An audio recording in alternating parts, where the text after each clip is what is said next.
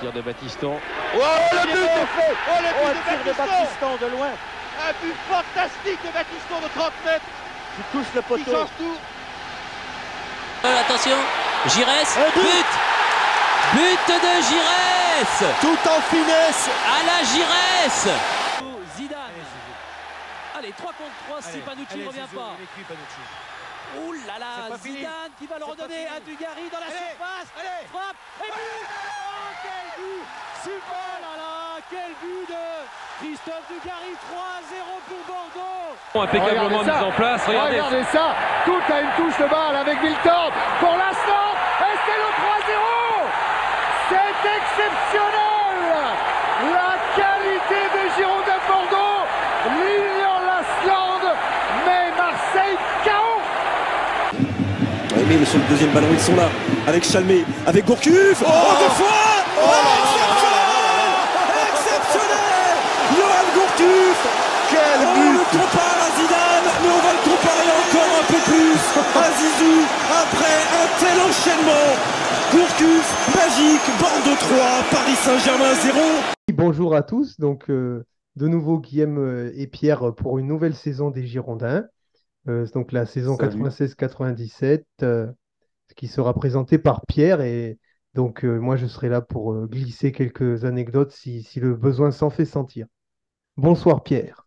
T'inquiète t'inquiète pas, je te ferai des, des bonnes passes.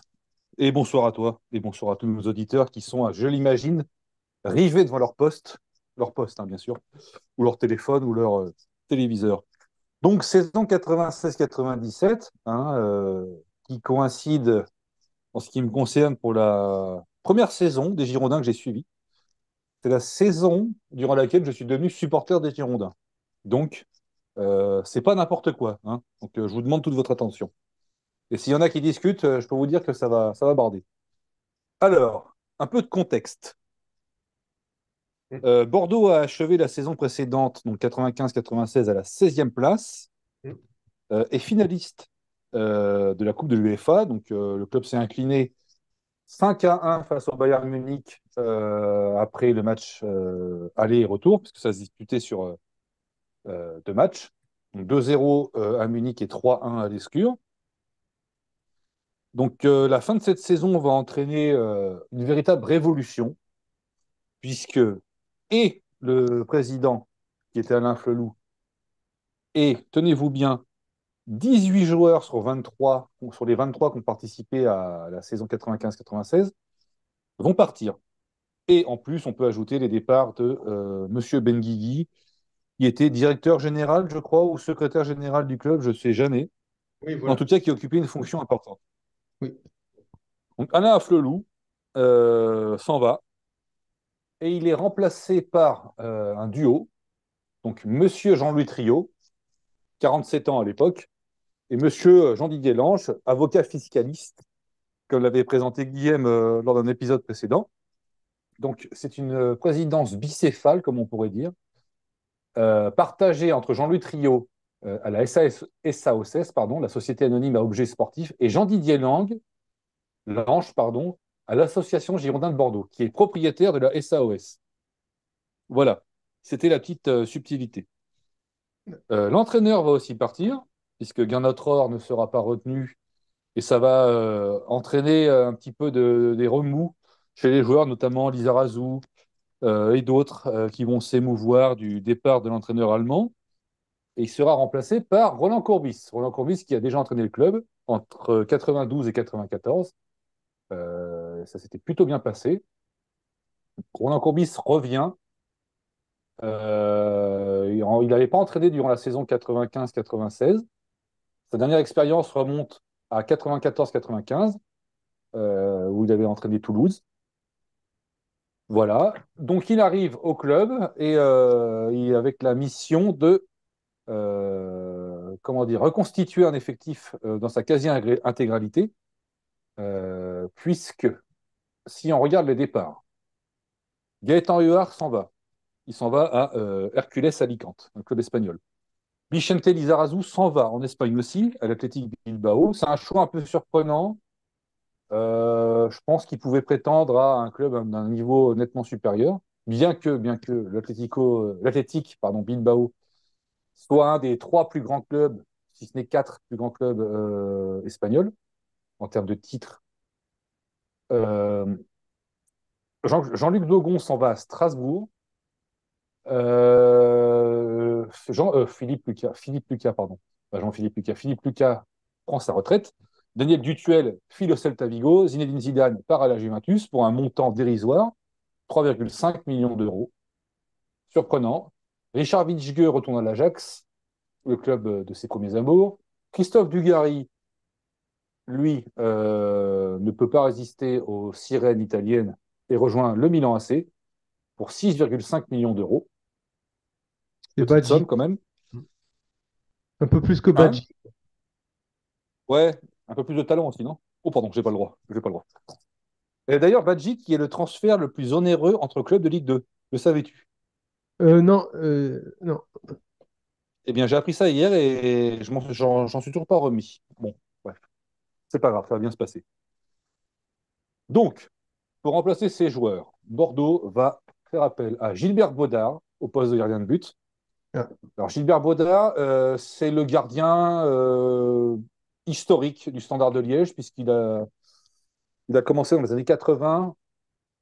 Il a été élu euh, meilleur joueur, enfin, ce qu'on appelle le soulier, euh, je ne sais plus comment on appelle ça, si c'est le soulier d'argent, le soulier d'or. Si c'est meilleur joueur ou deuxième meilleur joueur du championnat belge, mais en tout cas, toujours est-il qu'il fait partie des très, très, très bons spécialistes belges euh, au poste de gardien.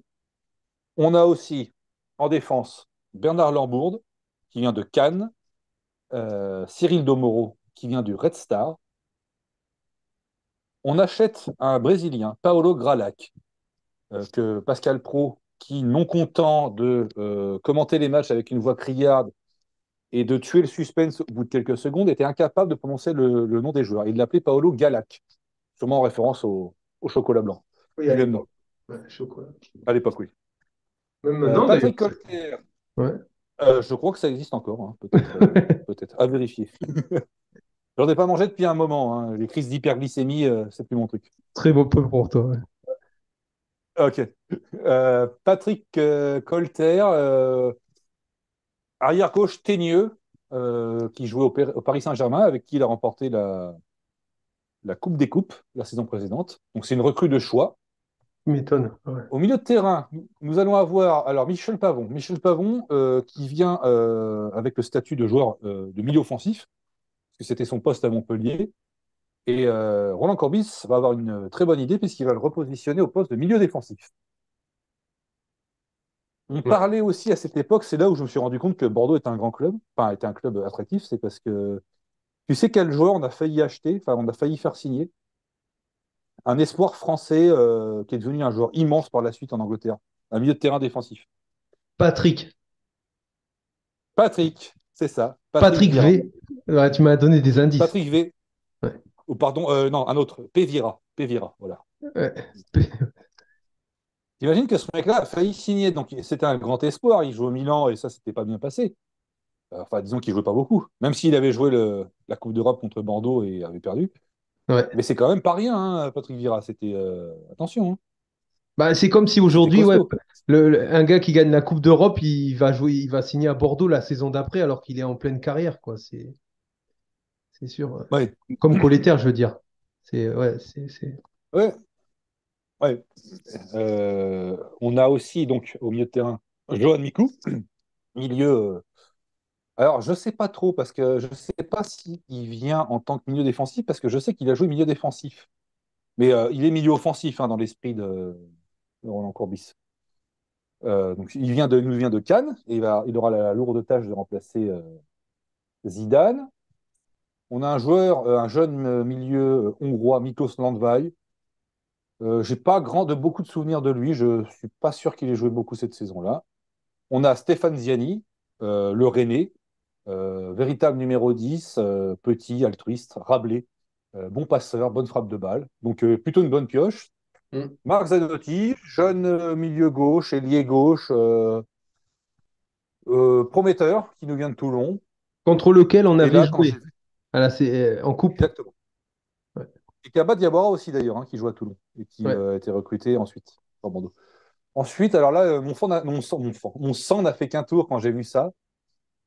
Euh, j'ai juste vu son nom de famille, c'était Biagio. Pas Baggio, Biagio, Claudio Biagio, euh, attaquant avant-centre argentin, qui nous vient de San Lorenzo. Bon, on verra par la suite que c'était pas forcément une très très bonne idée. Et International. en attaque. Il était pas. Non, je crois pas. Je crois pas. Je suis pas sûr. Ah, j'avais Tu mis ça. penses, toi, qu'il était? Bah, j'ai noté ça, donc si je l'ai noté, c'est que j'ai dû chercher. Ça devait, il doit être. Bon, je sais pas. Eh bien, tu as entièrement raison. Il a une, une sélection. Voilà. Pardon. Le Franck Jurietti argentin. zappé ça parce avec moins de trophées quand même. Tu vois, j'étais tellement persuadé que c'était pas un joueur terrible que, bref, un peu de, un peu de, comment dire, de, Bah, il n'a pas fait de, des, de- des grandes choses à Bordeaux, ça c'est sûr. Ah non, mais c'est pas le seul, tu me diras, mais euh, peut-être qu'en fait, il était beau. Je sais pas, parce que franchement, l'équipe d'Argentine, tu avais une plé... pléthore d'attaquants. Tu avais Batistuta, Claudio Lopez, Ortega, euh, euh, comment il s'appelait Balbo, Martin Palermo, enfin, des joueurs Crespo. comme ça. Crespo.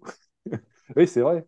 Bah, bon, je- oui, je sais pas. Peut-être qu'il a été sélectionné en début de carrière alors qu'il était prometteur. C'est assez surprenant. ouais, ouais, ouais. Et donc, au il, euh, Roland Courbis demande un deuxième attaquant qui signera euh, fin juillet, début août. Et là, tenez-vous bien, il a jeté son dévolu sur Jean-Pierre Papin. Alors, Jean-Pierre Papin, c'est quand même Ballon d'Or 91, euh, le roi de la papinade. Alors, la papinade, c'est quoi? C'est un terme qui a été inventé par un journaliste euh, qui travaillait à la Provence. Et c'était en gros euh, l'antonyme des cagades. Les cagades, en gros, c'est un raté.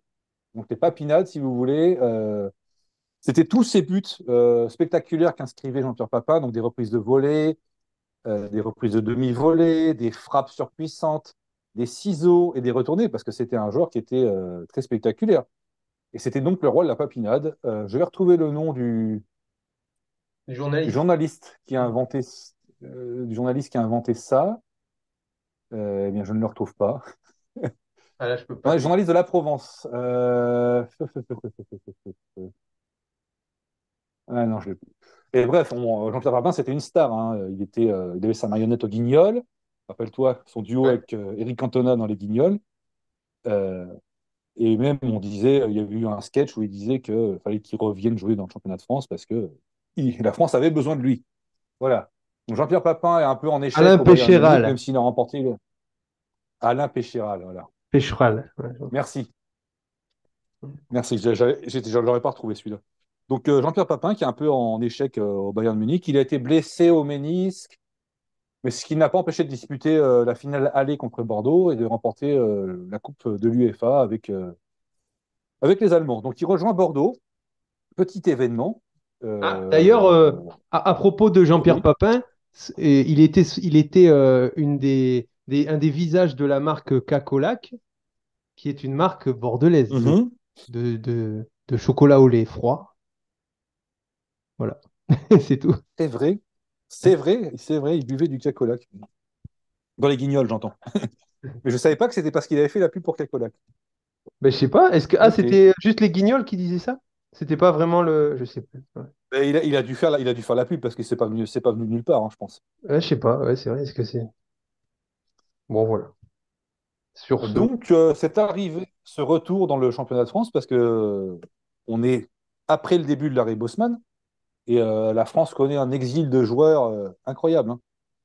Incroyable. Il y a beaucoup de joueurs qui quittent euh, le championnat de France pour aller jouer à l'étranger. Ouais. Et donc là, on bénéficie d'un retour. euh, Je sais pas si tu te rappelles. Ah, d'ailleurs, tu te rappelles le, le, le, le, spo- le- le- le- le- ah, les deux transferts qui avaient fait un record et qui avaient fait parler pendant cette intersaison? Moi, je les ai là. Euh, c'est alors. Est-ce que c'est du côté, c'est de, de la France vers l'étranger ou ça n'a rien à voir? Non, euh, non, au niveau mondial, les deux transferts de deux buteurs et- de l'époque très connus qui, qui avaient fait parler beaucoup. Et les sommes. Alors, il y en a un, c'est en, qua- il y en a un, c'est en 97 et c'est en Espagne, mais est-ce que c'est c'est- c'est pas lui? Non, non, c'était euh, à la saison, là, cette intersaison, 96. Cette intersaison, les buts. Ah, bah, il y a Ronaldo. Ouais, Ronaldo, ouais. 14,9 millions d'euros du PSV Eindhoven au FC PSV vers le. Barça. Et le deuxième, un, un coéquipier de Richard Witschge, je t'aide. Feuille verte Ah non, il faut chercher, c'est plus subtil. Un coéquipier de Richard Witschge, mais il faut c'est subtil. Alan Shearer. Voilà. Chris Sutton. Ah oui, Alan Shearer? Ouais, c'est ça. Non, non, c'est ça, Alan Shearer. Ok, bon, bah, Newcastle. bah, tu m'as bien aiguillé hein, parce que je n'aurais jamais trouvé. 15 Ok. millions de livres. Euh, Ah oui. Ah oui. Ouais. Et, et, euh, oui, les livres, une- une livre, ça valait 10 francs à l'époque. 17 1,50 millions d'euros. Ouais, voilà. Oui, oui, petite euh, bagatelle. Euh, donc voilà, donc euh, euh, revient, c'est l'événement, on en parle au JT de TF1, euh, et moi qui suis donc nouveau Bordelais, hein, qui emménage à Bordeaux au mois d'août 96, Ah ouais. euh, je suis ravi parce que Papin, euh, j'avais pas de club si vous voulez, euh, j'avais pas de club, euh, je supportais pas de club puisque j'habitais dans une région sinistrée niveau football, où il n'y avait pas de club, il n'y avait pas de grand club proche. Ce qui fait que bah, Papin, je suivais, je ses performances en équipe de France. J'étais, oui, c'était, un peu mon idole. hein. J'avais sa cassette Mes secrets pour marquer. C'est une cassette dans laquelle il expliquait ses techniques, euh, comment il se positionnait par rapport au terrain, euh, au ballon, euh, pour faire une emprise de volée. C'était une cassette, une cassette pardon, qui a été filmée avec son ami Montagnier, qui, qui, a- qui entraînait Rennes, la Real Sociedad et qui entraînait Toulouse. J'ai oublié son nom. Et qui était gardien? Il n'était pas gardien? Oui, C'est ça, si, ouais. si, il était gardien. C'était son ami. Ouais. Philippe. Philippe, et pas, et pas Gilbert. hein. Donc Philippe Montagnier, euh, qui se ramassait des, des de frappes euh, surpuissantes, euh, plus surpuissantes les unes que les autres, et qui donc participait à cette cassette vidéo avec Jean-Pierre Papin. Donc j'étais absolument ravi, ravi, ravi, ravi. Donc nous avons parlé de la révolution au niveau des dirigeants, de l'entraîneur et des joueurs. Il faut aussi parler, comme ne l'illustre pas la photo que vous voyez, que Oui. le maillot a changé. Ah oui, oui. Ça, c'était le début, c'était le maillot qu'ils avaient pendant les matchs amicaux, tu sais. Ouais, ouais, l'ancien. euh, il- voilà, il a été décidé. euh, Alors, normalement, ça aurait dû être Nike qui aurait dû euh, s'occuper du maillot, mais ça a été le coq sportif. C'est bien ça, le coq sportif? Oui. Tout à fait. Ouais. Donc, le, le- le- les Asics couleurs. bah, Ouais. Ah, ouais, qui remplace Asics, les couleurs bleu marine, pardon, avec le retour du scapulaire et un nouveau sponsor, en, l'occurrence Waiti, marque de jus de fruits. Local. Voilà. Local, c'était, oui, c'est important de le préciser. Donc, on va passer à la préparation. Ah, d'ailleurs, petite anecdote, suite au, suite au retour du bleu marine, les Ultras annoncent qu'ils redeviennent les Ultramarines et déclarent Nous nous félicitons d'une telle décision car le club retrouve par la même occasion son identité. Voilà. J'avais trouvé ça sur Internet. Superbe. Superbe. Ah oui, c'est vrai, j'avais fait gaffe. Ultramarine, oui. Bah oui, tout s'explique. Tu as fait la lumière, Guillaume, merci. Alors, la préparation, alors ça va être vite réglé, je vous le dis tout de suite. Euh, Bordeaux affronte Niort le 19 euh, juillet 96. Score nul et vierge. Huit jours plus tard, euh, à Libourne, Bordeaux retrouve Gaëtan Huard son club euh, d'Hercules Alicante. Victoire 1-0 euh, des hommes de Courbis euh, qui se mettent sur les bons rails pour la saison à venir. Et ils concluront euh, leur préparation par une victoire 1-0 euh, contre Lyon le 3 août 96, soit quelques jours avant le début de la saison, contre le Havre à domicile. Voilà, donc on peut faire une petite revue d'effectifs. Euh, je pense que ça peut être intéressant. Ouais. Donc, alors attends.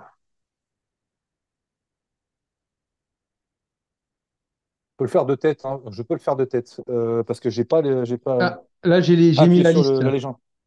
Ok, Ouais. alors je veux bien que tu me dises les noms et puis je vais en parler, euh, je vais en parler vite fait. Oui, donc euh, je dis les noms de, de l'équipe entière. De la... Donc Tu Baudard, me dis un nom et je rebondis dessus. Boda, bah, le gardien belge, euh, légende du standard dont on parlait euh, tout à l'heure, voilà, qui euh, a la lourde tâche de remplacer euh, Gaëtan Huard. Franck Fontan, Franck Fontan, son, son, son, son- son suppléant, qui jouera un match contre, contre Lille, euh, auquel j'ai assisté, on en parlera plus tard, et euh, qui avait des, petites des petits soucis de relance au pied, je me souviens. Patrick Colleter. Patrick Colter, arrière-gauche euh, fougueux, ancien du PSG, euh, qui vient apporter son expérience et qui euh, portera euh, en début de saison le brassard de capitaine. Paolo Sergio Gralac. Paolo Galac, Dixit Pascal Pro, défenseur solide brésilien qui vient de Coritiba, si je ne m'abuse. Ah, je sais plus. Adepte des coups francs de loin, apparemment. Ouais. Coritiba, oui, qui avait une frappe de mule. Alors, il a tenté, je ne sais pas, pendant deux saisons qu'il a passé à Bordeaux, il a tenté une quantité invraisemblable de coups francs euh, qu'il a souvent envoyé euh, sur le toit de l'hôpital Pellegrin ou sur les boulevards. Et il en a mis un, c'est en demi-finale de la Coupe de la Ligue 98 contre Auxerre. Il en a mis un. Mais il avait une frappe, mais vraiment de bœuf, quoi, surpuissante. François Grenet. François Grenet, qui, euh, enfant du club, formé au club, euh, basque, et qui jouera euh, plus dans un rôle de milieu droit. Ouais. Arrière droit, des fois aussi. Ben, quand Ouais, on est champion, pour la fin, arrière droit. ouais. Oui, oui, mais c'est ouais, Bob qui le remplace. Mais euh, en 98, il joue la finale de Coupe de la Ligue milieu droit. Kojo Afanu. Joe Fanou, défenseur formé au club, euh, enfant de, je crois qu'il est de, si je dis pas de bêtises, Lormont. Ouais, Euh, Lormont, enfin de la rive droite. Mm. Ce nom ou Lormont, je sais plus exactement. Défenseur serein, bon placement, solide dans les duels, euh, vraiment, vraiment bon, bon petit jeune. Bernard Lambourde. Bernard Lambourg, défenseur euh, qui évoluait euh, à Cannes, euh, qui viendra euh, renforcer l'arrière-garde avec euh, ses qualités d'anticipation, de jeu de tête. Geoffrey Toys. Geoffrey Toys, enfant du club, pareil, latéral, qui aura son mot à dire durant la saison. Latéral, plutôt de latéral gauche, non? Les deux? Il Ouais. me semble, oui. Les Il deux. me semble. Mais je le vois plus à gauche. Ouais. Ouais. Ah ouais, ok. Laurent Crossi. Toujours là. Bon, Grossi, bon, euh, toujours là, oui, ça fait un moment. hein. Ça fait un moment qu'il est là, euh, qui a débuté sa carrière à Sochaux et qui disputera sa dernière saison sous les couleurs girondines euh, en 96-97. Eh oui. Cyril Domoro. Cyril de Moreau, transfuge du Red Star, euh, qui peut jouer sur un côté et qui peut jouer dans l'axe. Euh, pareil, solide, bon joueur, bon joueur en défense et euh, qui ne restera qu'une saison, qui partira à Marseille et qui partira ensuite à l'Inter et au Milan AC. Donc euh, c'est pas rien. Sylvain Diaye. Jeune milieu défensif euh, qui aura du mal à se faire son trou, mais qui euh, connaîtra euh, la lumière à Lille et à Marseille par Ah la suite. Ibrahim Aboubakar Ba. Ah mince, j'ai oublié de le préciser, de, de préciser Ah oui, on a oublié dans la liste. Mais on va en parler maintenant. Euh, donc il est plutôt homme de couloir euh, côté droit au Havre, si c'est pas arrière droit. Et là, il va venir à Bordeaux euh, pour animer et dynamiter le côté droit. Il fera une saison formidable. Il sera appelé en équipe de France. Et il va nous quitter à la fin de la saison. Il aura le choix entre le Barça et le Milan. Et il ira au Milan AC. À l'AC Milan, pardon. Ah oui, oui. Stéphane Ziani. Stéphane Gianni, lutin, meneur de jeu, dépositaire du jeu. Euh, malin, rusé, technique. Voilà. Tout ce qu'il nous fallait. Michel Pavon. Michel Pavon, euh, qui a commencé euh, attaquant, qui a reculé au poste de milieu offensif, et qui là va évoluer milieu défensif au plus grand bonheur de- des supporters girondins. Ah, finalement, ouais. Ah oui, pardon. Oui, Cédric Ancelin. Cédric Ancelin, euh, pareil, enfant du club, euh, qui va, qui a joué la finale, il me semble, hein, si je dis pas de Oui, bêtises. il remplace Il en Lizarazu. finale. Il remplace Ah, Lizarazu blessé par Kostadinov. Ouais. Hum. Il, et donc il, est- il était dans l'effectif déjà l'an passé. Hum. Euh, il va, oui, il va, il va avoir un petit peu, un peu, un peu de temps de jeu, mais c'est plus en Angleterre se fera un nom. Oui, j'ai lu des. Il a raconté qu'il a eu une dépression. euh, il a toujours été assez. Il a, Mhm. il a été soigné pour ça, mais il a eu pas mal de soucis de dépression pendant de nombreuses années. Et donc, il a, il a été interviewé là-dessus euh, sur un site. Oui, je me souviens. oui. Alors, bon, là, Luxin, il n'est pas encore arrivé, mais euh, il va arriver. Non, il arrivera au mercato hivernal et il arrivera alors qu'il ne sera âgé que de 17 ans. De Cannes. ouais. De Cannes, oui, bien sûr. On aura une filiation avec Cannes. euh, déjà avec Zidane, euh, Jean-François Daniel, Eric Guérit. Et Mm. puis là, avec euh, Mikou, Lambourde. Et puis par la suite, avec Ferrier, Djemali. Voilà. Et Luxin, bien sûr. Johan Mikou, donc, ou Johan. ouais. Johan Mikou, voilà, Johan, milieu offensif. Grosse frappe de balle, très bonne qualité de passe, euh, capable de dribbler, capable de déborder, capable de tout faire. Ouais, ouais. Il aura fait euh, une énorme carrière à Bordeaux. ouais. Mm. Et au Werder aussi. Oui, oui. Ouais. Alors après, Marco Zanotti. Gaucher, euh, voilà, ailier euh, remuant, euh, bonne frappe de balle, bonne qualité de centre, qu'on aurait aimé voir plus souvent. Donc Jean-Pierre Papin. Qu'on ne présente plus, buteur à droite, euh, grosse frappe de balle, bien placée, euh, chiant pour les défenseurs, euh, rusé, voilà, et expérimenté.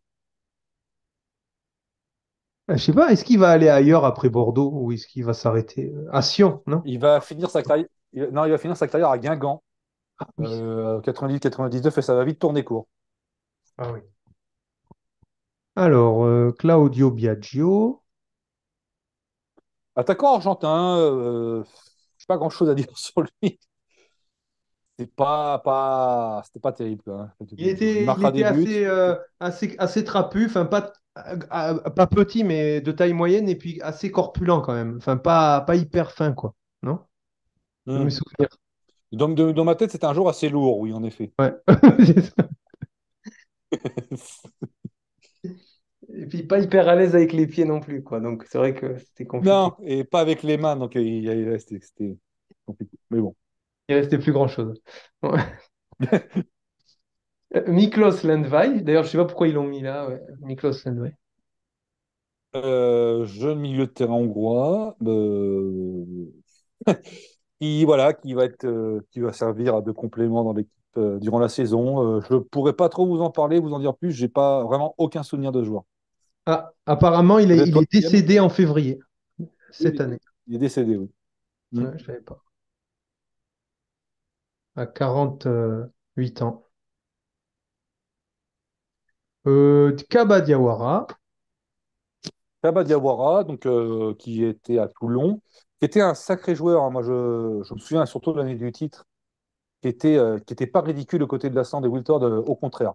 Mm. C'est un attaquant remuant, gaucher, euh, bon techniquement, puissant physiquement, voilà, qui sera barré par Papin et Tolo, puis par l'arrivée de la Sand et Wiltord la saison d'après, qui, ira- qui ira à Rennes, mais qui était un sacré joueur.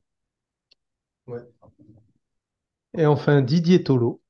Toujours là. Didier Tolo, toujours là, attaquant expérimenté, qui entame sa deuxième saison au club, euh, qui chargera de, qui se chargera de mettre les ballons au fond et qui formera euh, pendant une partie de la saison un, un duo euh, intéressant et dangereux avec Jean-Pierre Papin. Tout à fait. Voilà, ben, c'est bon, on a fait les- le tour de l'effectif. Alors, l'effectif, euh, il va évoluer dans un. Alors, de- des recherches que j'ai fait, Mhm. j'en ai déduit que c'est un 4-4-2 en, lo- c'est un 4-4-2 en losange. Euh, donc, on a Baudard dans les buts, Mhm. défense, euh, Colletter à gauche, euh, Lambourde à droite, Gralac, Domoro dans l'axe. Milieu de terrain, Pavon, Mikou bas sur les côtés, Zi- Ziani en 10 et attaque Tolo Papin. Mais par la suite, et avec l'arrivée de Luxin, j'ai vu qu'on jouait à 5 au milieu avec le seul Papin devant. Euh, Donc ça a évolué durant la saison, euh, ce schéma, offen- ce schéma euh, tactique. Et j'ai aussi vu que Mikou pouvait redescendre de côté de Pavon et qu'on aurait et qu'on avait Ziani à gauche et euh, Ibrahim Ba à droite. Donc c'était plutôt évolutif. J'ai j'ai du mal à, à trouver la, le schéma, enfin l'organisation tactique précise. Toujours est-il qu'on n'est pas loin de ce que je viens de dire. Donc la saison. Bordeaux débute euh, la campagne 96-97 par la réception du Havre. Victoire 1-0. Match euh, pas emballant, on va dire. Mais il y avait quand même 23 000 personnes euh, dans les travées de l'Escure qui, pour un. C'était quoi? C'était le 10 août. Pour un 10 août, c'est un score tout à fait honorable.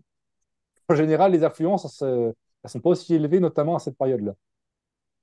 Euh, donc, euh, Jean-Pierre Papin disputera son premier match euh, avec Bordeaux. Il rentrera à la 64e minute en, en lieu et place de Claudio Biagio. Voilà, Patrick Cotter est capitaine. Et Didier Tolo, à la 29e minute, permet au, au club de démarrer la saison sur les bons rails. Mm. Deuxième journée, déplacement à Metz. Un partout, le club est mené 1-0 sur un but de Isaías, le meneur de jeu brésilien de Metz, et égalise euh, par Jean-Pierre Papin à la 90e minute. Sais-tu avec quelle partie du corps il marque le but de l'égalisation? Avec son nez.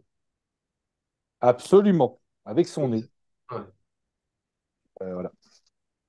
Donc on peut remercier son nez pour avoir égalisé et avoir ramené euh, ce point du stade Saint-Symphorien.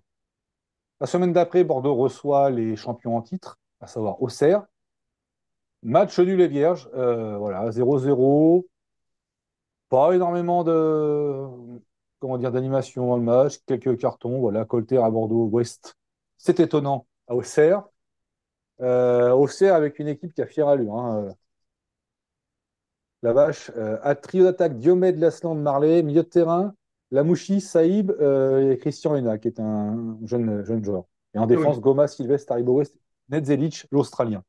Voilà. All white. ouais. Donc, euh, et euh, évidemment, Charbonnier. Donc voilà, donc euh, Bordeaux va à la cinquième journée, après un match nul face à Rennes et à Rennes, affronte Bastia et donc reçoit Bastia et gagne 3-1 avec un doublé de Jean-Pierre Papin et une frappe magnifique de Ziani. Euh, D'ailleurs, Ziani, cette saison-là, je me souviens, il avait, avait pas un record, mais il a une spécialité, c'était de marquer en dehors de la surface. Des buts en dehors de la surface. C'était euh, sa spécialité en début de saison notamment. Et euh, il, mettait en illustration sa, sa super frappe de balle. Donc à la cinquième journée, Bordeaux occupe la sixième place, ce qui est pas mal pour un club qui a terminé 16e la saison précédente. Mais au vu des recrues et au vu de l'ambition de l'entraîneur, il faut faire plus. Euh, Bordeaux va bien commencer dans cette mission puisqu'ils vont s'imposer, le club va s'imposer 1-0 à Nice euh, au stade du Ray sur un but de Yohan Mikou et va battre euh, Lille 3-0 grâce à un doublé de Guy Tolo et Jean-Pierre Papin le 14 septembre. Je m'arrête quelques temps sur ce match puisque c'est le premier match que j'ai vu à, l'Escure et le match qui m'a fait basculer, euh, qui m'a fait totalement et définitivement basculer dans l'amour inconditionnel et supportariat des Girondins de Bordeaux.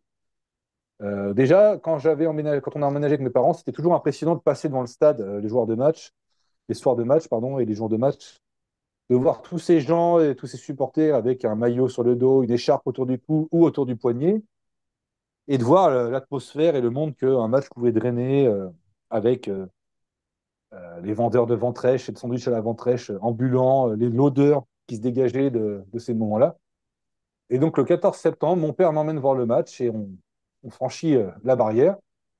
C'est en virage nord parce que le virage sud était en travaux pour la, la Coupe du Monde, euh, qui aura lieu en 98, avec une, donc une ambiance pas possible dans le virage nord, puisque les Ultras euh, y avaient élu domicile. Et voilà, très bon souvenir, et très bon souvenir du but de, de Tolo à la 90e, qui lobe le gardien Jean-Marie Aubry euh, grâce à une frappe lobée qui, le, qui le fera tomber sur les fesses. Donc, grâce à cette euh, victoire euh, 3-0. Bordeaux, à la septième journée, est deuxième du classement. C'est pas mal du tout. Ouais. Ensuite, euh, le club va, en- va enchaîner une série de résultats euh, assez moyens, puisqu'ils vont faire 0-0 contre Guingamp à domicile, 0-0 à Marseille à l'occasion du retour de Jean-Pierre Papin sur la terre de ses exploits. Donc on pourra encore voir et euh, avoir le- l'exemple euh, de la bêtise crasse des supporters marseillais qui n'ont rien trouvé de mieux quand il est apparu sur la pelouse de le siffler.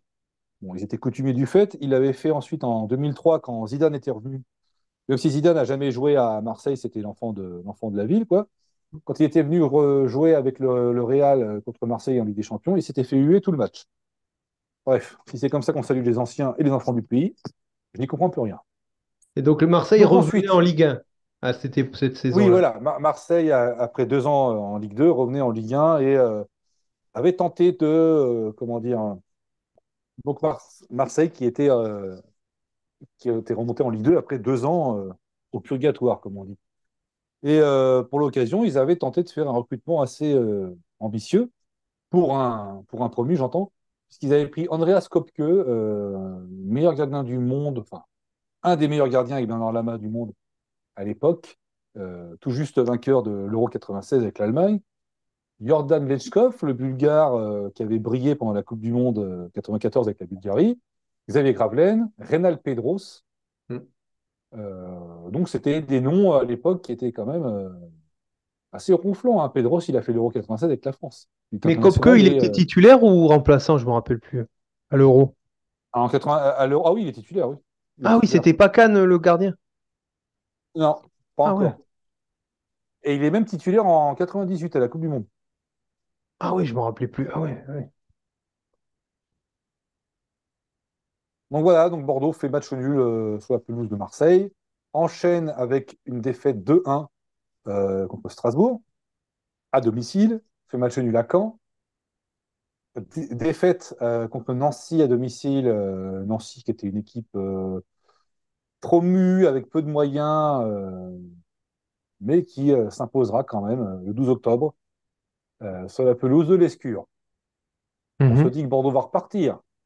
Et non, il joue à Nantes euh, contre, pour le derby de l'Atlantique, chose qui ne veut rien dire, mais c'est le terme employé. Et euh, ils, s'inclinent 3-1, début de Christophe Leroux, Leroux Jafet Endoram. Jafet Endoram qui jouait euh, meneur de jeu, qui marquera 21 buts cette saison-là, il faut le dire. Et Jocelyn Govindec, futur entraîneur des Girondins. Guilletolo réduira la marque à la 81e, mais ça ne suffira absolument pas. Donc, euh, nous sommes à la 13e journée.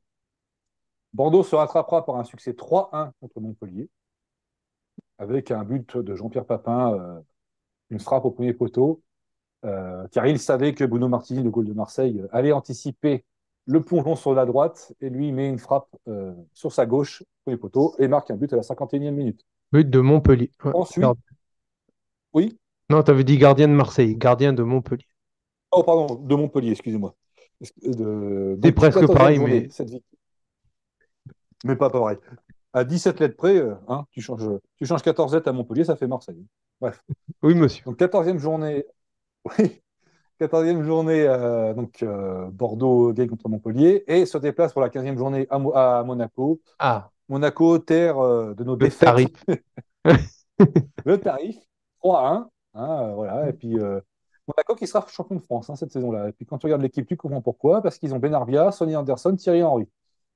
Je n'arrête pas là. Ils ont Legvinski, Emmanuel Petit, Martin Djetou, Patrick Blondeau, Franck Dumas, Fabien Barthez. Ils ont aussi John Collins. Et l'entraîneur, c'est Jean Tigana. Bon. John Collins, présente-le quand même pour euh, nos amis, nos jeunes amis. Ah, John Collins. Milieu de terrain écossais euh, qui, euh, qui avait rejoint, bah, qui rejoint le club en 96 et euh, qui était un très bon milieu de terrain, qui participera à la Coupe du Monde 98 avec l'Écosse, c'est assez rare pour le signaler, euh, et qui restera deux ans avec, à Monaco. Il, en- il il remportera le titre en 97. Il fera une demi-finale de Coupe de l'UEFA cette saison-là. Euh, Monaco s'inclinera injustement contre l'Inter. Et euh, il fera une demi-finale euh, de Ligue des Champions cette fois-ci, d'année d'après, en 98, contre la Juve. Donc scandale à l'aller, trois pénalties pour la Juve comme par hasard. Del Piero tombe trois fois trois penalties. Bon, écoute, non, Del Piero tombe deux fois et, Zidane une fois trois penalties. Et ils perdent 4-1, les Monégasques, et au retour, gagnent 3-2 avec un Legvinski, euh, un, Ali Benarbia des grands soirs et un Don Collins aussi euh, bien inspirant. Donc, au soir de la 15e journée, Bordeaux occupe la 8e place. Donc, c'est toujours pas, euh, toujours pas comment dire, conforme aux ambitions qui, étaient, qui ont été annoncées en début de saison. Mais entre la 15e et la 20e journée, le club va se reprendre. Déjà, ils vont battre 1-0. Il va battre 1-0 Cannes à domicile, s'imposer 4 à 3 à l'issue d'un match complètement fou à Lens. Euh, je me souviens, j'avais vu ce reportage dans, enfin, le résumé du match dans, euh, dans Téléfoot et euh, Bollard était en travaux, donc c'était, ça donnait une ambiance assez particulière au match. Et Bordeaux avait fait forte impression parce qu'ils avaient, ils avaient marqué trois buts en une mi-temps. Ils menaient 3-1 à la mi-temps. Euh, puis ils ont été rejoints à 3-2 euh, à la 55, à 54e, 54e pardon. Diawara, euh, pense-t-on, scelle le sort de la rencontre avec un but à la 82e, mais Philippe Brunel égalise, ref- oula, je vais le refaire, réduira la marque à la 87e, réduit l'écart à la 87e, euh, et là on a aussi eu peur qu'il y ait un retour du Diable Vauvert de Lens, mais Bordeaux tiendra bon et ça posera 4 à 3 donc à Lens. Journée suivante, récep- récep- réception pardon, 5 étoiles euh, de prestige avec le Paris Saint-Germain. Donc le score du match, 5 à 3 pour Bordeaux, un match euh, magnifique, spectaculaire face à une grosse armada. Jugé plus tôt, Bernard Lama dans les buts, côté parisien, Alain Roche, Paul Le Guen, Benoît Ngotti, Jimmy Algerino en défense, Benoît Coé, Vincent Guérin au milieu de terrain défensif, Ray Leonardo, l'animation offensive, euh, Julio César Deli Valdés et Patrice Loco en attaque. C'était pas rien. Mais ils n'auriont rien pu faire face à la Furia bordelaise, qui, grâce à un doublé de Jean-Pierre Papin, un but de Mikou, frappe superbe, je vous la conseille euh, sur YouTube, si vous la trouvez, s'il la trouvez, euh, il s'oriente le ballon d'un contrôle orienté, il s'amène le ballon face au but, et il enroule une frappe sous la barre de, de Bernard Lama, le troisième but, le deuxième but de son équipe, pardon. Claudio Biagio, une fois n'est pas coutume, marquera, et Kaba Diawara euh, scellera le sort cette fois de la rencontre avec un but à la 83e. Je remarque que Bordeaux marque beaucoup en fin de match. Mm. C'est euh, ouais, euh, une statistique importante. Et Paris marquera par Loco, Rai et Deli Valdés, mais ce sera bien insuffisant. Et ce match-là euh, sera un- une sorte de tournant parce qu'on va commencer à prendre Bordeaux au sérieux et à se dire que peut-être ils ont un coup à jouer euh, durant cette saison. Ouais. Après cette victoire, Bordeaux va obtenir le nul de partout à Lyon. Et euh, pour la petite anecdote, il y aura une scène cocasse qui va se dérouler durant ce match. Donc il y a un coup franc indirect qui est obtenu par les Girondins à l'entrée de la surface de- des Lyonnais. Et euh, il y a trois joueurs, je crois que c'est Papin, Colter et un autre, qui discutent, qui mettent en point euh, une tactique. Euh, et donc ils s'accordent pour utiliser cette tactique, sauf que euh, celui qui est censé décaler le ballon ne comprend pas, euh, décale le ballon trop tôt, le ballon passe entre les jambes de Colter et Papin ne peut pas frapper. Et le ballon est récupéré par les Lyonnais. Voilà. Comme quoi, incompréhension peut être aussi synonyme de rigolade. Ou de ricanement, comme on veut. Donc, euh, Bordeaux obtient le nul de partout, s'impose 1-0 contre Metz, et à la 20e journée occupe la troisième place. Donc, ils ont fait un peu le yo-yo, hein, puisqu'à la 5e journée, ils étaient 6e, à la, 13e, à la 15e, 8e et à la 20e, 3e. Donc là, ils occupent une place euh, européenne et un bon classement. Ils vont s'imposer, euh, pardon, ils vont s'imposer, oui, 1-0 contre Metz, euh, à domicile euh, lors de la 20e journée, un but contre son camp de David Terrier, euh, le 28 novembre 96, devant 14 000 spectateurs. C'est pas, pas énorme, mais euh, bon. Espérons que les autres Ah. matchs feront venir les. Il y a un problème lors de cette rencontre. Les supporters du collectif Virage Sud ont allumé des fumigènes, pour, euh, comme d'habitude, hein, pour mettre l'ambiance. Mais là, c'est un peu plus sérieux que d'habitude et les policiers de la CRS investissent la tribune. Voilà. Et en fait, ils ont investi la tribune parce qu'ils avaient utilisé trop de fumigène par rapport à la- d'habitude ou euh, parce que c'était interdit, il y avait une loi qui était passée ou? Ben, je sais pas, j'ai pris que ça comme, euh, comme renseignement, là, j'ai pas eu plus de détails. Faudrait que je cherchais plus, mais. parce que les, fumi- les fumigènes c'était quand même euh, plutôt commun, non? Oui, oui, c'est commun, mais là, cette fois-ci, apparemment, il y a eu un. Ben, De toute façon, il y avait des soucis souvent euh, à cette époque-là avec euh, les, les la sécurité et puis voilà, les, le club. Bon, je verrai si la suite, il y aura d'autres problèmes dans cette saison. S'il y en a, je te dirai. Ok. Si, Il n'y a pas de souci. N'hésite pas. Oui. Euh, donc Bordeaux va s'imposer 1-0 contre Metz. Se déplacer sur la pelouse du champion de France en titre, Auxerre, qui en plus est qualifié pour le, les quarts de finale de la Ligue des Champions Mm. euh, contre Dortmund. Euh, deux- il s'incline 2-1 euh, avec un but euh, d'une future légende du club, Lilian Lasland, qui Mhm. évoluait à l'époque à la, à la JOCR, qui était cet attaquant euh, remiseur, mais euh, qui, qui était capable aussi de marquer, mais qui remisait, qui orientait le- les attaques de ses, de ses coéquipiers et de son équipe, qui était un joueur extrêmement intéressant et précieux, et très sous-estimé à mon, à mon humble avis. Donc après cette défaite de 1, Bordeaux reçoit Rennes, s'impose 2-0. La 23e journée, ils se déplacent à Bastia. Je te le demande même pas quel est le résultat, puisqu'on le sait, ils ont perdu 3-1. Euh, comme souvent, hein, Bastia, voilà, on n'y arrive pas. On n'y arrive pas. euh. Ce sera toujours mieux que l'année d'après, puisqu'on d'après, on s'inclinera 4 à 1 et on verra rapidement que notre gardien Stanley Menzo, euh, qui était le meilleur gardien de la saison 96-97 en Belgique avec Liers, on verra rapidement que c'était pas une bonne affaire. Bref. Ensuite, euh, Bordeaux euh, en 97, je crois, parce qu'il me semble que Bastia, c'est le dernier match de 96. 19 ça. décembre. Ouais. Absolument. Donc, il y a la trêve des confiseurs et Bordeaux reçoit Nice euh, pour le match de reprise le 25 janvier. J'étais à ce match, euh, figure-toi. Euh, on s'est fait peur hein, parce que Ah, on peut donner un peu 62e, des infos par rapport au mercato euh, pour la Ah, bien des sûr. confiseurs. Bien sûr, mais oui, pardon, excuse-moi. Euh, oui, puisque Peter Luxin euh, rejoint le club de, en provenance de Cannes. Mm. Euh, jeune joueur de 17 ans, jeune milieu défensif euh, prometteur qui a tapé dans l'œil euh, de Roland Courbis et qui n'hésite pas à le titulariser pour ce match. Et je me souviens de- de- d'être au match, euh, ça me rappelle ça. Le speaker avait dit euh, je, vous, euh, je vous demande d'applaudir euh, le nouveau, la nouvelle recrue des Girondins. Il a 17 ans et c'était Peter Luxin. Ah oui. Donc, euh, Mikou ouvrira le score. Ah, attends, il y a-. Ah oui, pardon. Oui. Oui, tu sais, pour le mercato, donc il y a aussi Laurent Crossi qui quitte, euh, qui va à Dundee FC, qui quitte le club. Ah oui, en Écosse. Après 400, 147 matchs et 5 buts, ouais, il part à, à Dundee, en Écosse. Et il y a Claudio Biagio qui nous quitte dé- déjà. euh, il retourne à San Ah, Lorenzo après 17 matchs et 2 buts. Ouais. Ouais, Est-ce qu'on l'avait acheté ou est-ce qu'il était prêté? Tu sais pas? Non, ça, j'ai pas. Ah ouais. C'est marrant. Je, je pensais qu'il faisait toute la, la saison, tu vois. Ben là, ouais, non, apparemment. On ne le verra plus sous nos couleurs. Oh, quel dommage. Bref, bon vent, Paolo. Euh, donc, Johan Mikou ouvrira le score d'une magnifique balle piquée, euh, un lob piqué euh, sur Bruno Valanconi à 62e. Kubica égalisera à la 77e. Là, on se dit que ça commence à sentir pas bon. Mm.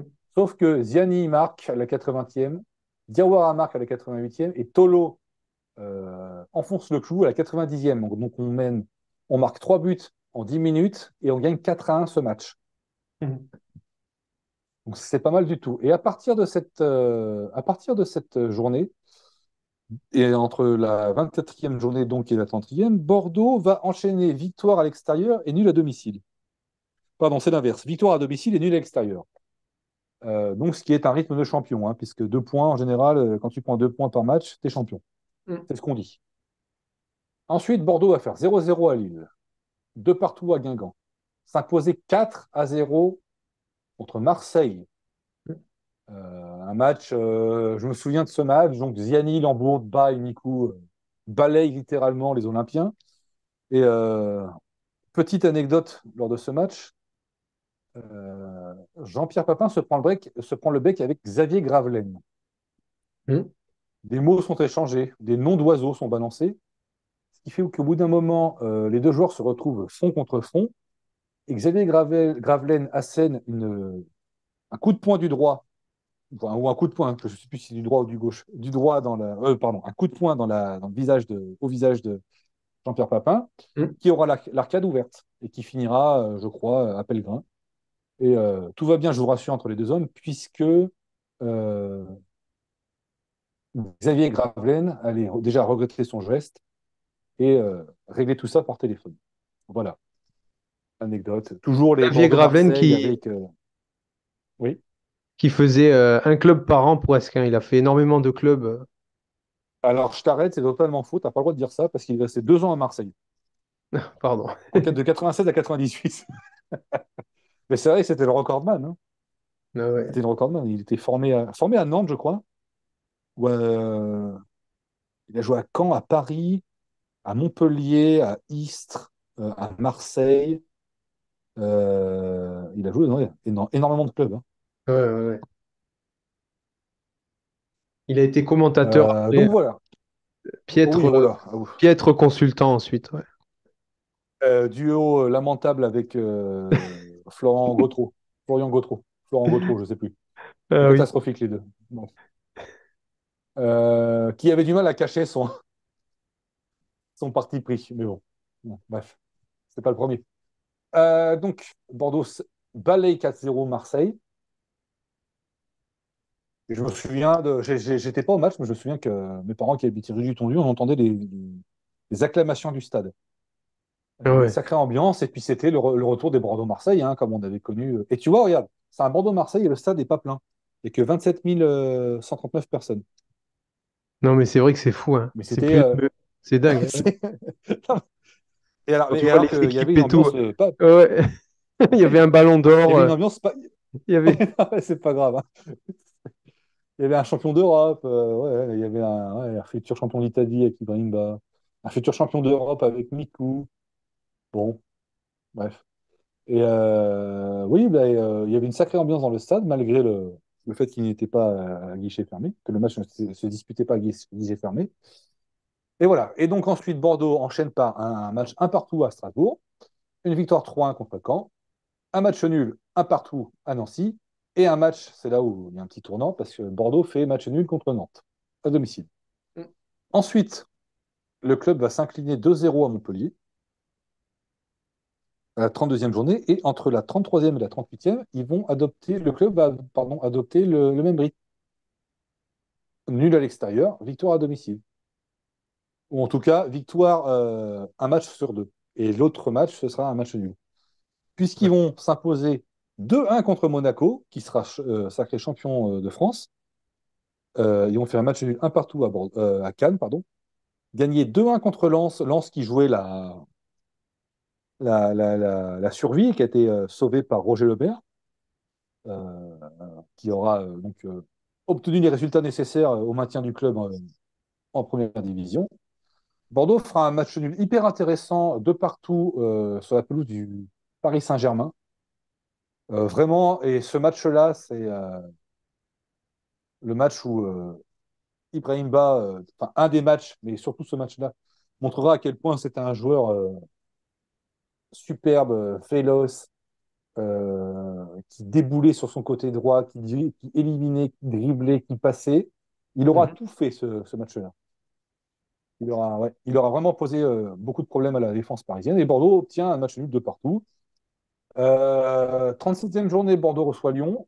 Euh, peut assurer son, sa qualification en Coupe euh, de l'UEFA, mais n'y parvient pas parce qu'il euh, concède le match nul de partout. Et à la 38e journée, Bordeaux se déplace au Havre. Alors, il faut savoir qu'à la 38e journée, euh, euh, 37e journée, pardon, il n'y a que 3 points qui séparent le quatrième du classement du 9e. Donc, en gros, tout le monde peut, euh, enfin, beaucoup d'équipes peuvent se qualifier et pour l'UEFA et pour l'Intertoto. Mm. Pour la Ligue des Champions, c'est cramé parce que c'est le Monaco et Paris Saint-Germain. Mhm. Euh, attends, je ne sais plus s'il y avait une place pour le champion ou deux, je ne sais plus. euh, puisqu'il me semble que Paris finit deuxième et joue la Ligue des Champions la saison d'après, puisque c'est la saison où ils sont éclatés contre le Bayern 5 à 1 avec euh, Christophe Revaux qui fait deux bourdes monumentales. À vérifier, mais il me semble que c'est soit le, le premier ou, les deux premiers. Ah, c'était Ouais. déjà la, la version moderne de la, la Ligue des Champions, quoi. Ouais. Écoute, écoute euh, peut-être, oui, c'est ça, voilà. Tu te qualifiais pour la Ligue des Champions, mais tu avais un tour préliminaire. Tu sais, c'est le match où euh, ils perdent sur tapis vert 3-0 contre le Steaua et ils gagnent 5-0 au retour, avec un match incroyable de Leonardo. Je crois que c'est ça. Je crois que le deuxième se qualifie pour un tour préliminaire pour la Ligue des Champions. Tu sais, c'est l'histoire du match où ils jouent contre Steaua, ils perdent 3-2. Et comme Laurent Fournier était suspendu pour ce match-là, soi-disant parce que. enfin, il avait été aligné soi-disant parce que le club et les dirigeants avaient perdu le fax qui annonçait qu'il était suspendu. Ils Mhm. avaient perdu le match 3-0 sur tapis vert, ce qui fait qu'ils devaient gagner 4-0 au match retour. Et ils avaient gagné 5-0 avec un match euh, incroyable. Bon, bref. Ouais. Revenons à nos moutons. Bordeaux, c'est plus intéressant. Euh, donc, Bordeaux se déplace au Havre euh, et il faut qu'il s'impose. Il faut que le club s'impose. Mhm. Euh, parce que Lyon, Lyon va gagner 8-0 contre Marseille et mènera 7-0 à la mi-temps. Euh, donc, sacré, sacré déculotté. Et ce match, Le Havre-Bordeaux, tu vois, c'était comme toi, un Le Havre-Bordeaux. C'est le premier match que j'ai écouté sur 8FM, Ah ouais, c'est vrai. en intégralité. Parce qu'à Ouais. l'époque, j'écoutais les matchs sur les multiplex d'Europe 1 ou de France Inter. Et j'avais un, un camarade de classe qui m'a dit Non, mais tu devrais écouter 8FM parce qu'il diffuse le match en intégralité. Et donc, j'avais écouté ce match en intégralité sur 8FM. euh, commentaire, je crois, d'Éric Barrère, si je ne m'abuse. Ah ouais. Soit, ouais, soit bah. Bordeaux Ouais.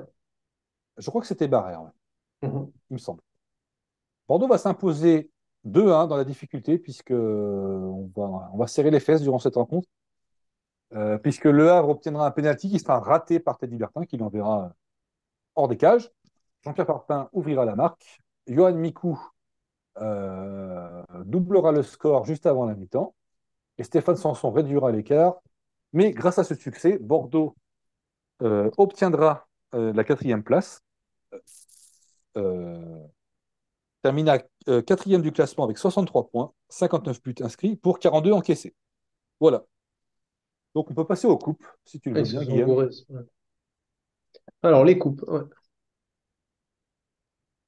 Les coupes, alors euh, la Coupe de France, euh, bon, peut-être Bordeaux fait des bons parcours hein, parce qu'ils font d'abord quart de finaliste euh, contre Montpellier, donc ils éliminent Brive en 32e 3-1, Toulouse-Fontaine en 16e 2-0 là-bas, Cannes 1-0 à domicile en 8e, mais par contre ils sont forcés de s'incliner 2-1 contre Montpellier euh, en quart de finale. Il me semble d'ailleurs que sur ce match-là, euh, il y avait un certain euh, jeune joueur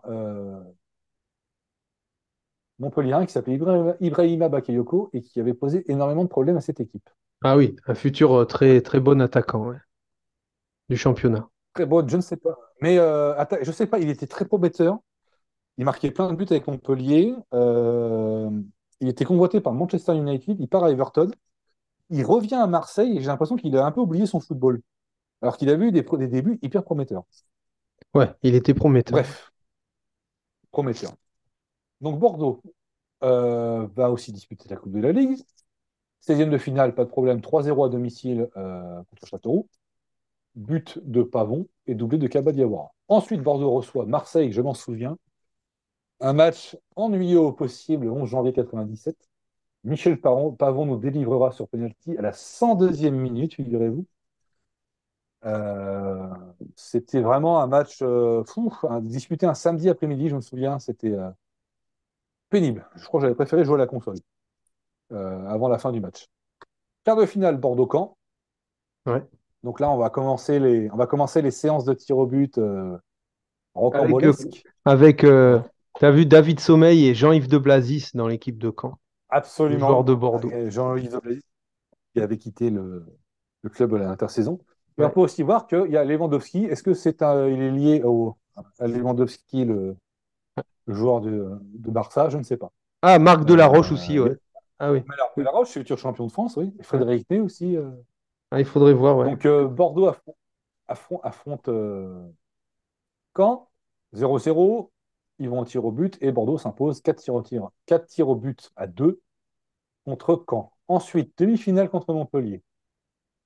Je vous le dis, c'est encore la suite.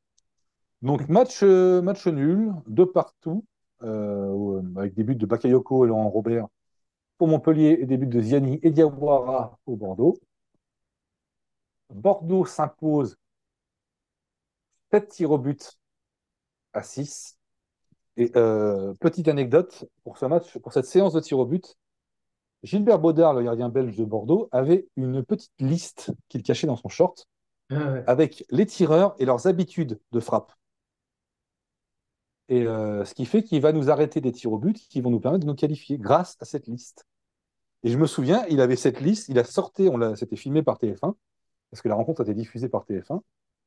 Il sort cette liste, il prend l'information sur le joueur et il arrange. C'était très marrant. On n'avait jamais vu ça au- auparavant.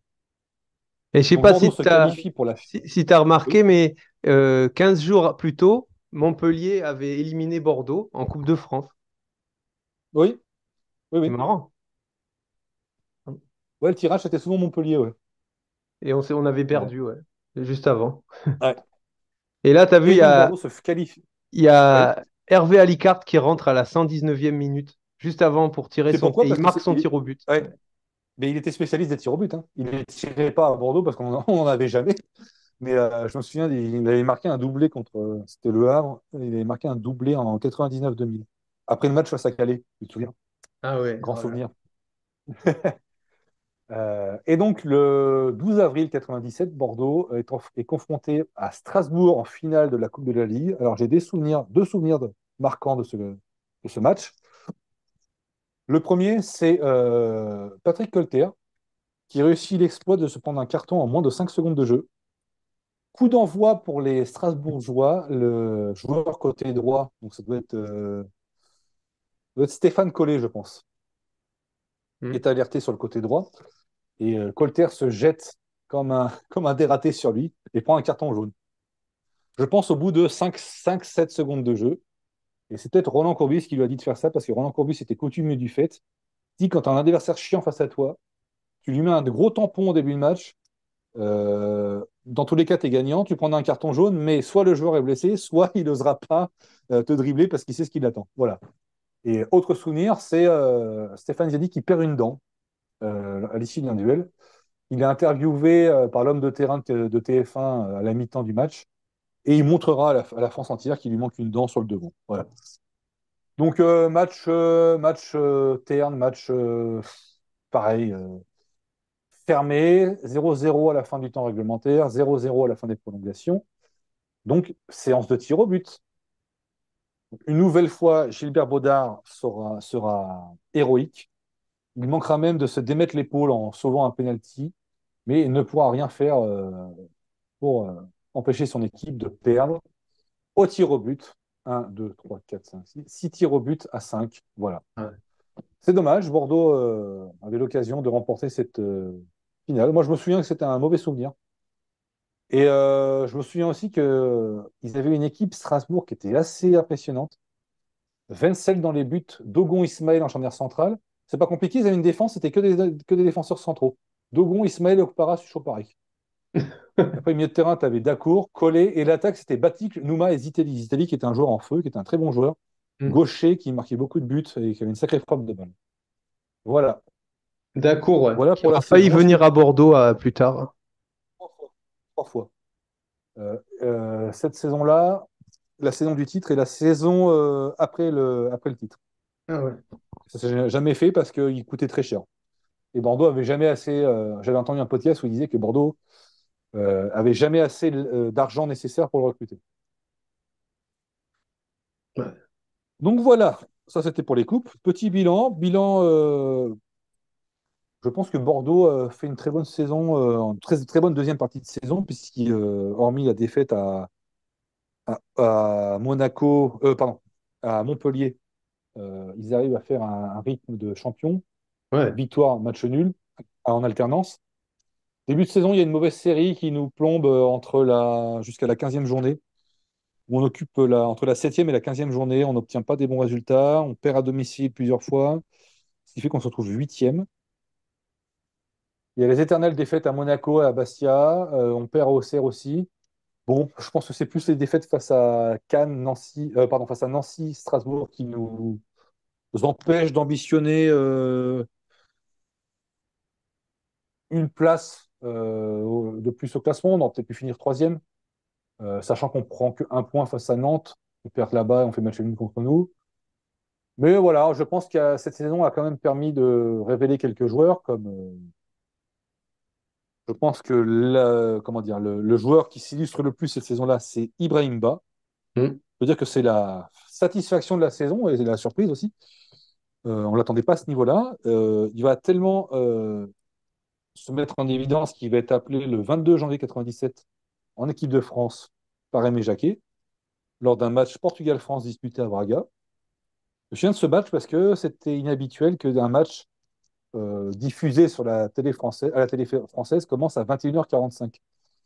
Tu sais, parce qu'il y a une heure de décalage avec le Portugal, et le Ah match oui. là-bas avait lieu à 20h45, et en France, il avait lieu à 21h45. Ce qui fait que moi, j'avais école le lendemain, j'étais en cinquième, et j'ai pas pu voir euh, la deuxième mi-temps, parce que je m'étais endormi avant. Et euh, j'ai raté euh, le deuxième but de l'équipe de France, inscrit par Ibrahim Ba, au terme d'une chevauchée fantastique, où il mettra un petit pont à Fernando Couto, s'il vous plaît, avant de battre le gardien euh, Victor Baga d'une astucieuse frappe placée. Et Bordeaux remportera donc Bordeaux. La France remportera cette- ce match amical 2-0 contre le Portugal. Ouais. Euh, Ibrahim Ba fera aussi le tournoi, des, le, tour- le tournoi de France, Je me rappelle. qui était un tournoi disputé, euh, qui était disputé euh, avant la Coupe du Monde, justement, avec l'Angleterre, l'Italie et le Brésil. La France obtiendra deux matchs nuls contre l'Italie, dont un but magnifique de Yuri Djorkaeff, et de Zidane contre l'Italie, match nul deux partout, et un partout avec le coup franc incroyable de Roberto Carlos, et cette trajectoire invraisemblable. Et euh, il perdra 1-0 à Montpellier contre, euh, contre l'Angleterre. Mais euh, Ibrahim Ba se- fera partie de, de l'aventure. Mm. Et euh, malheureusement, il nous quittera Ah, à la fin de la ouais. saison pour le Milan. Oui, Ah oui, pardon. Non, non, Oui. euh, vas-y, après je voulais. Vas-y, non, je t'écoute. Ouais. Oui, en fait, non, c'était pour revenir à la fin du au bilan de, de- de la saison de Bordeaux. Et C'était, et c'est, en fait, oui, on a marqué 72 buts, toutes compétitions confondues. Euh, et on a, ouais, on a Ouais. fait un parcours, un beau parcours. Et en fait, on a fait 16 victoires, 15 nuls et 7 défaites en championnat. C'est-à-dire que, en fait, Oui. Roland Courbis avait coutume de, de, de maudire à l'é- à l'époque la victoire à 3 points, puisque avant la victoire était à 2 points et, euh, et le match nul à 1 point en championnat. Et ça a été dans les années 90 euh, le passage de la, du- de la victoire à 3 points en 93, non, ou 94, ou je sais plus. Et en tout cas, là, avec, si ça avait été la pense. victoire à 2 points, on aurait eu, euh, on aurait eu un super parcours parce qu'on a fait 15 matchs nuls. On a fait vraiment, ouais. Oui, mais, oui, mais je, je, je, je comprendrai jamais cet argument parce que c'est de la victoire à 3 points. Donc, c'est ça, c'est Roland Courbis qui, qui dit ça. Il a aussi sorti en 98-99 quand euh, Bordeaux était à la lutte avec Marseille, club qu'il Mm. entraînait. J'ai jamais compris cet argument. Ben, c'est la victoire à, 3, à 2 points. Ben non, mais c'est plus le cas depuis quelques saisons. Donc là, c'est la victoire à 3 points. Ben, tu fais en sorte de remporter les points, puis tu de te plaindre. Mais ça, c'était, Ah ouais. c'est Roland Courbis dans toute sa splendeur. hein. Euh, Trouver des excuses, ça, ça, ça, il sait faire. hein. Voilà. Alors, euh, quand il était à Marseille, c'était et la victoire à, à 3 points et la fiscalité. Hein, euh, Marseille a donné le plus gros salaire du championnat avec Monaco mais c'est pas, et Paris, mais c'est pas grave. Mais c'était la fiscalité qui posait problème et qui empêchait Marseille de, ah ouais. de comment dire, de, de, de, de, de- de triompher. Bon, bref. Je vais pas en parler de Roland Courbis parce que c'est pas un personnage que j'apprécie. et, euh, certes, il a fait du bon boulot cette saison-là et les saisons euh, de 92 à 94, mais j'ai j'ai rien à dire sur lui en fait. Donc, euh, Oui, voilà. non, non, il a, il a Donc, pas été très sympa ouais, avec Bordeaux. ouais. Non, c'est pas sympa, c'est juste. euh, J'aime pas, j'aime les gens honnêtes, donc euh, voilà. Ensuite, donc on a Jean-Pierre Papin, autre satisfaction, qui était quand même un recrue phare et qui a répondu aux attentes. hein. Euh, voilà, donc avec 16 buts en championnat, Ouais. euh, qui a, qui a retrouvé son rythme au cours de la saison parce qu'il était resté, euh, il a disputé peu de matchs la saison précédente, et qui marque euh, 16 buts en championnat,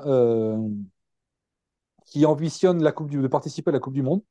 Il se dit si je fais, euh, si je fais une saison du même acabit, je pense que je peux y participer. Voilà. Et évidemment, euh, le troisième, c'est Gilbert Baudard. Qui ne Mais est-ce qu'il aura eu encore des sélections après? Euh, c'est quand sa dernière Non. sélection en équipe de France? Je me rappelle plus. Euh, je me demande si c'est pas en 94, un match Ah de qualification à l'Euro 96. Tu vois? Ah oui, donc c'était. ouais. Je me demande si c'est ça, 94 ou 95. Mais je, je crois que c'est. Après, c'est fini pour lui. hein. Ah oui. Parce que, alors, il faut savoir, il va à Milan en 91. Euh, Milan avait la règle des trois étrangers. Enfin, il y avait la règle des trois étrangers avant l'arrivée Bosman. Les trois, les trois joueurs qui n'étaient pas du pays où le club se trouvait. Euh, donc, le Milan avait déjà Van Basten, meilleur attaquant du monde à l'époque. Gullit et Rijkaard. Ils avaient Savicevic, Boban. Autant te dire qu'il fallait, fallait, fallait, fallait batailler pour se faire une place. hein. Ah Ouais. ouais. Mais il a, il a quand même réussi à faire une saison en championnat. Il fait 20 matchs, 13 buts. C'est bien. hein. Ah oui, oui. Non, mais dans un championnat hy- hyper compétitif avec des équipes, des défenses de porc comme la Juve. euh, Enfin, voilà, enfin, c'était euh, c'était quelque chose. hein. Donc Gilbert Baudard, euh, on va revenir à lui, qui Ouais. finira élu dans l'équipe type, tu sais, des- de la meilleure équipe de l'année, euh, élu par les joueurs et les entraîneurs. Il finit meilleur gardien. Il Ouais. finit euh, cinquième du classement des étoiles, tu sais, de France Football. ouais. Ouais. J'aimais bien ça. Je trouvais que ça. Bon, c'est certes objectif, euh, euh, mais il finira quand même euh, cinquième, le meilleur gardien étant Revaux. Et sache qu'on trouve deux Bordelais dans cette équipe type. À ton avis, lesquels? Ibrahim Ba. équipe, équipe type, équipe type France Football, hein, avec les étoiles et tout ça. Ibrahim, Ibrahim Ba, bien sûr, puisqu'il a 3,70 de moyenne en étoiles. Mm. C'était 6 sur 6 étoiles. hein. Donc 6 étoiles, c'était le match exceptionnel, ça n'arrivait jamais. Les joueurs avaient plus 3, 4, parfois 5. Et euh, voilà, il a la même moyenne que Sonny Anderson, qui finira meilleur joueur du championnat. Euh, élu par ses pairs, meilleur joueur du championnat. Et l'autre, c'est qui? Euh, l'autre, ça sera. Ah, donc c'est Ba le premier, c'est ça? Ah, Ba est dans l'équipe type. Ouais, et Non, le premier, c'est le, le- le premier, c'est Benarbia, Ouais. tu vois, qui est aussi dans l'équipe type euh, de Ligue 1 élu par ses pairs et dans l'équipe type euh, France Football, avec le euh, plus grand nombre de la, plus, la meilleure mo- moy- moyenne pardon, sur la saison. Il a 3,8, euh, Bas à 3,70 et Ziani, qui est milieu de terrain, à 3,58. tu vois. Et on trouve des joueurs comme Pires, Emmanuel Petit, euh, Sébastien Pérez, Revaux, Sonny Anderson et Jafet Endoram. C'était une équipe qui avait fière allure quand même. Voilà. Ouais. Sébastien euh, donc voilà, donc Baudard, euh, Baudard qui nous a impressionné par ses, ses- ses parades, euh, gardien très actif, euh, qui a été décisif en Coupe de la Ligue. Voilà, donc très bonne satisfaction. Bordeaux prendra quand même 42 buts en championnat, c'est quand même beaucoup. Mm. Ça fait plus d'un but par, par match. Euh, mais il n'empêche que Baudard a empêché Bordeaux d'en prendre euh, davantage euh, par ses performances. Donc saluons, saluons sa saison et coup de chapeau, grand coup de chapeau à lui.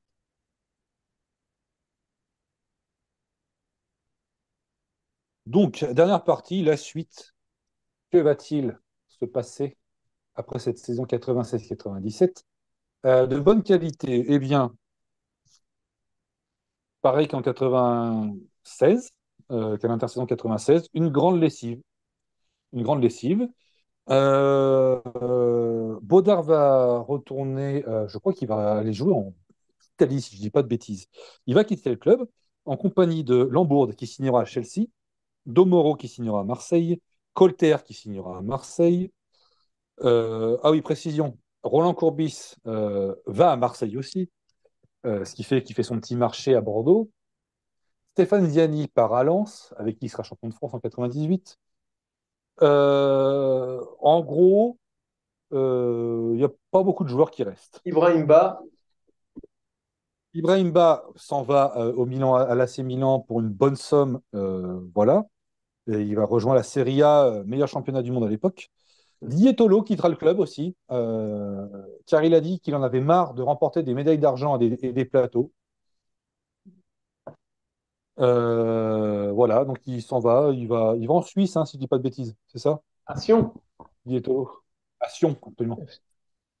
Il quitte le club. euh, nouvelle, euh, nouvelle flopée d'arrivée, puisque Stanley Menzo, gardien néerlandais, meilleur gardien de la saison en Belgique avec euh, rejoint le club.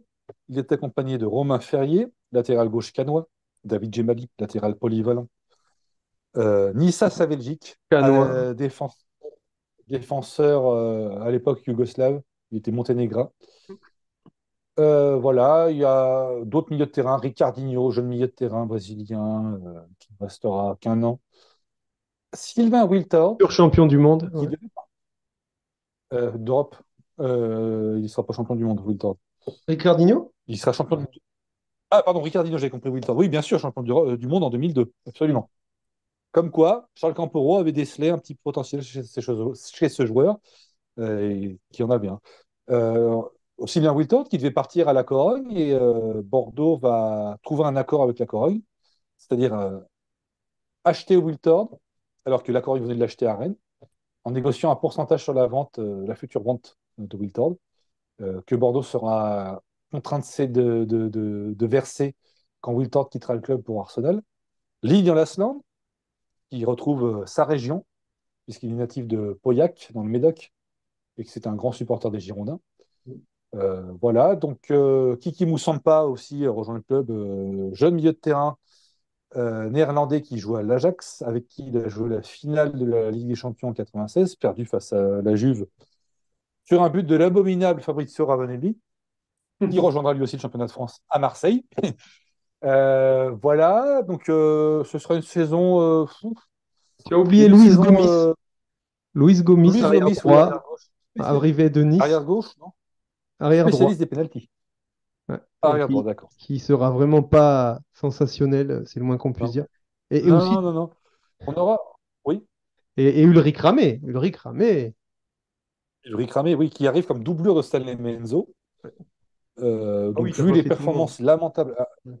Alors, Stanley Menzo, euh, c'était quelque chose parce que j'ai jamais vu un mec, un joueur, ou une personne hein, normal, normale, qui n'est pas joueur, euh, se mettre à terre avec autant euh, de difficultés et en autant de temps. Je me souviens, on joue contre Bastia, donc ça doit être la quatrième journée. Il y a l'attaquant Bastia qui rentre, qui met une frappe de grand-mère à rater, mais vraiment qui doit être à 2 mètres, à 2 mètres de Menzo. hein. Le temps qu'il s'allonge, le temps qu'il tende le bras, il y avait déjà but. Voilà. Donc, face à ces performances euh, pitoyables, euh, Guy Stéphane, qui remplacera euh, Roland Courbis, Guy Stéphane confiera les buts et le poste de gardien de but à Ulrich Ramé lors d'un match face au Havre qui précédera une rencontre face à Aston Villa. Et Ulrich Ramé rassurera rapidement les supporters et ses coéquipiers. Voilà. Donc on aura cette équipe un peu, j'ai envie de dire, euh, bancale. Euh, on aura toujours Mikou, Pavon, milieu de terrain.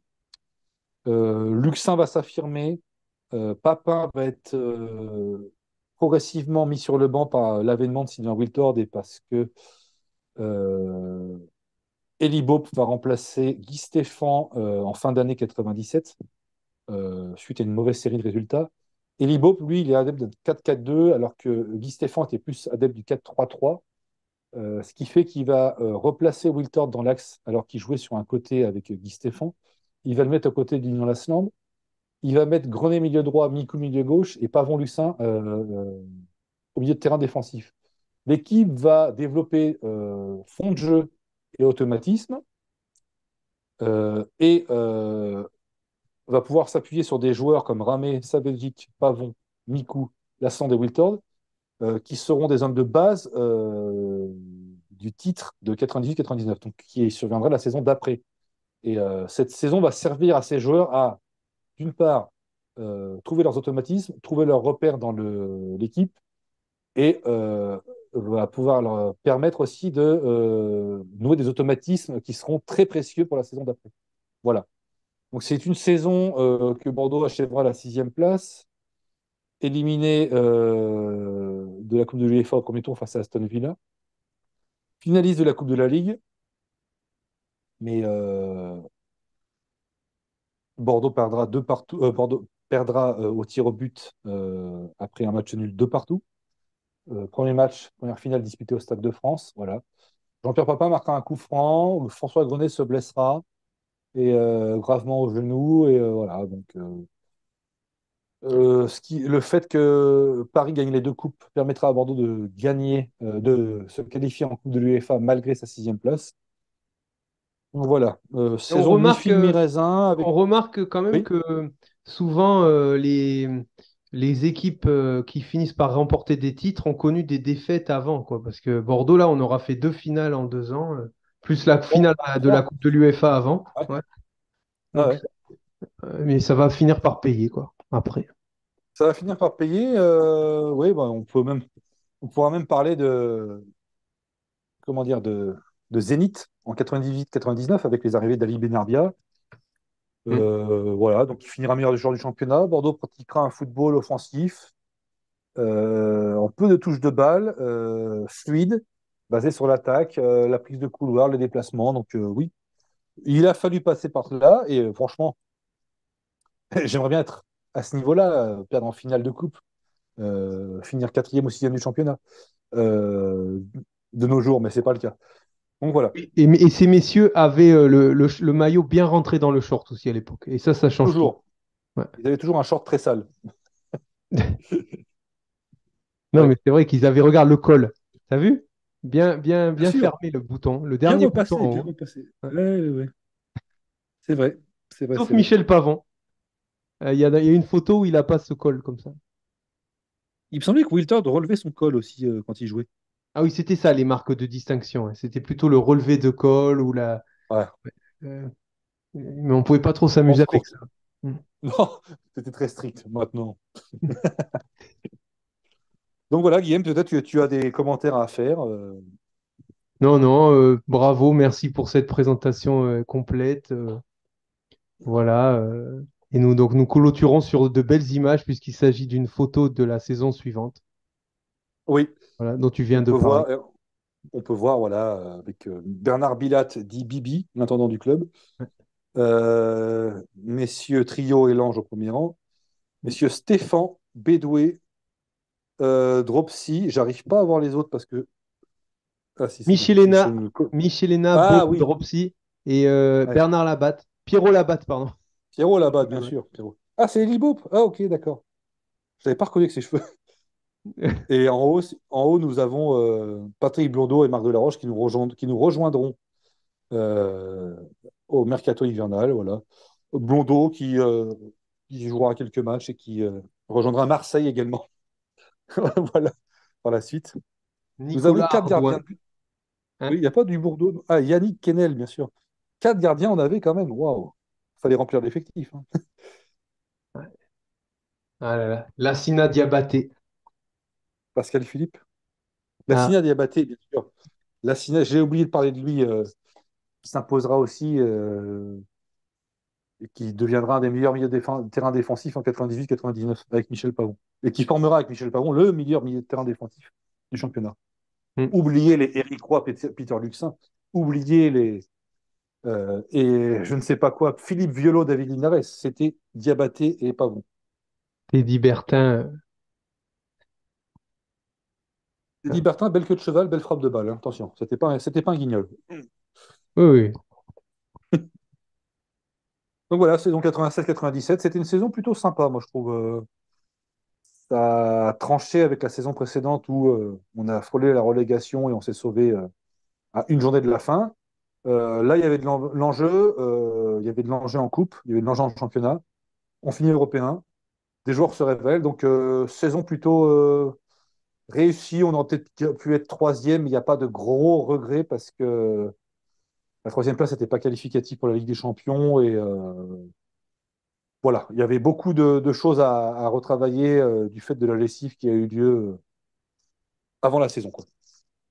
Oui, mais c'était en fait toujours le même cycle, un peu euh, cercle vicieux, c'est-à-dire euh, des joueurs explosent, euh, ils sont vendus à l'étranger, donc Zidane, Dugarry, Lizarazu, et après on repart de zéro. Et... Mais bon, là on avait fait une bonne saison, oui, oui, une super saison, mais encore avec les meilleurs joueurs qui partiront à la fin de l'année, comme à chaque fois. Comme à Enfin, pas chaque les fois, oui, meilleurs. mais ça, c'est- Bas au moins. ouais. Bah, bah oui, bah, euh, bah, Tolo, c'est une- un départ important aussi. Hein. Ouais. Euh, Tolo, bah, Baudard aussi, le Ziani. gardien. Lam- Ouais. Ziani, et Domoro qui étaient euh, titulaires en défense. En défense. Donc, euh, ouais. Mais Mais écoute, c'est comme ça, on a su rebondir, on a su trouver, on empêche des bons joueurs euh, avec Lasland, Wiltord, euh, Diabaté, Nissa sa Belgique. Voilà. hein. Ouais.